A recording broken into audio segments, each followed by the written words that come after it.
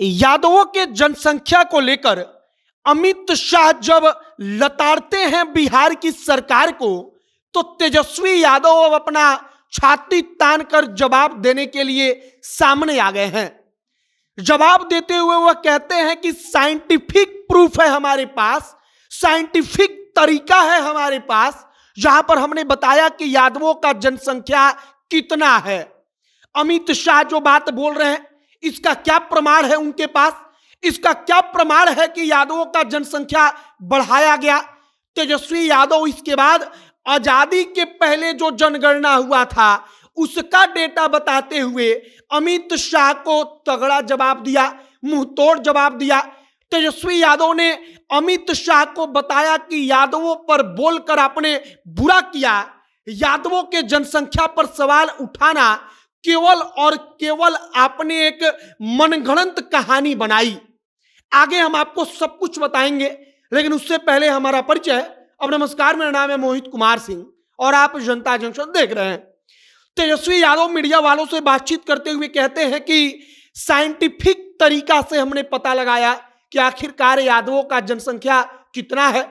वो कहते हैं कि आज़ादी के पहले जब बिहार, उड़ीसा और झारखंड तीनों एक राज्य हुआ करता था।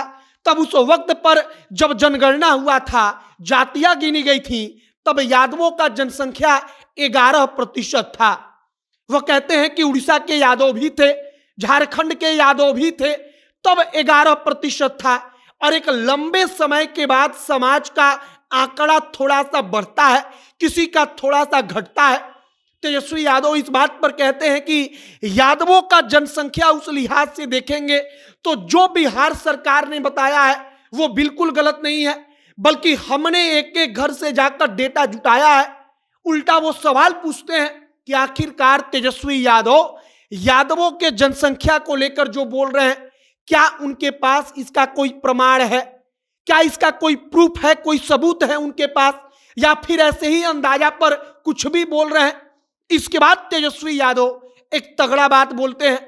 वह कहते हैं कि अगर जनसंख्या बढ़ाना होता तो बिहार के मुख्यमंत्री नीतीश कुमार कुर्मी समाज से आते हैं। उनके कुर्मी जात का जनसंख्या इतना कम कैसे हो गया? कुर्मी जाति का जनसंख्या इतना कम क्यों जातिगत जनगणना में दिखाया गया? बल्कि अगर ज़्यादा दिखाना था तो कुर्मियों का संख्या ज़्यादा दिखाया जाता। यादवों का जनसंख्या अगर जानबूझकर बढ़ाया गया है तो कुर्मी जाति जिस जाति के खुद मुख्यमंत्री हैं, उस जाति का जनसंख्या क्यों नहीं बढ़ाया गया?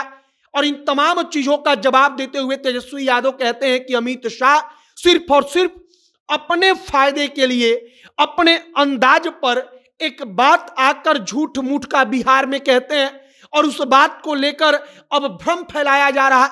जबकि सच्चाई यह है कि आज़ादी के पहले जब अंग्रेज़ों ने जनगणना कराया था तब अंग्रेज़ों के जनगणना के वक्त यादव सबसे ज़्यादा था और आज के समय में भी यादव सबसे ज़्यादा है। तो उस वक्त में और आज के वक्त में जनगणना में कोई हेर फेर कहे किया गया तो यह कतई स्वीकार नहीं होगा, क्योंकि अगर हेर फेर हुआ होता तो आज़ादी के पहले वो अंग्रेज़ों के द्वारा कराए गए जनगणना में भी यादव सबसे बड़ा जाति उस वक्त पर ना होता।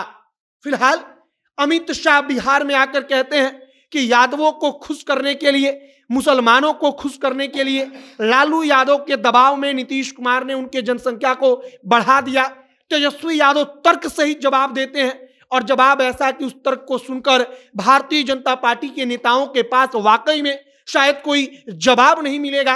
अब आगे देखते रहिए कि जातिगत जनगणना के आंकड़ों को लेकर, यादवों के डेटा को लेकर आगे और क्या कुछ होता है। और क्या कुछ राजनीतिक रूप से बयानबाजी चलती है? आगे जो भी तमाम अपडेट, जो भी और जानकारी निकल कर सामने आएगी, सब कुछ हम आप तक पहुंचाएँगे।